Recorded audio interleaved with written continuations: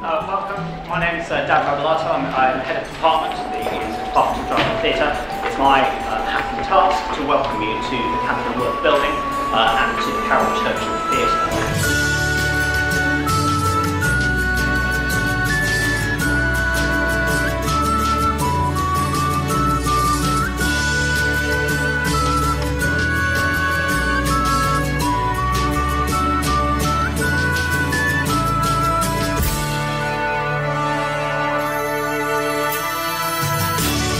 Now, this is the kind of theatre that every drama department in every university should have. It's a great space, the Caryl Churchill Theatre. I'm absolutely uh, honoured, really, to have been the inaugural production in the Caryl Churchill Theatre.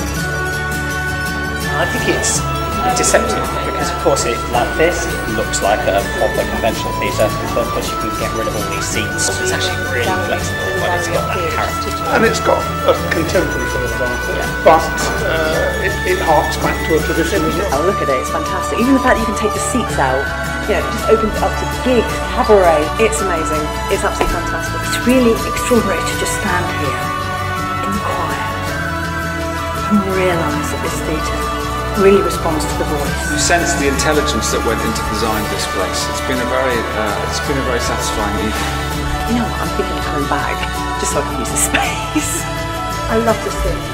I love the space. I love the intimacy, the grandeur, and it's just so exciting to see it here. It's just a pleasure to be back.